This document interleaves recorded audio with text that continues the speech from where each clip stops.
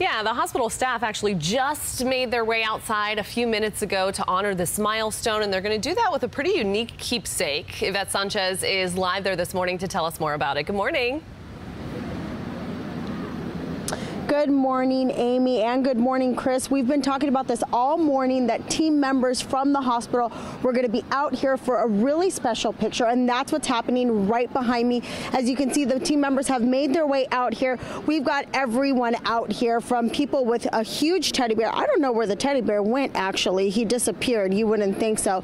But what they're going to be doing right now in a couple minutes is they're actually going to be flying a drone over this to get a shot of everyone And this is just basically honoring the five year milestone that they've been able to achieve here in Southwest Florida and everything that they've been able to do for kids in the area.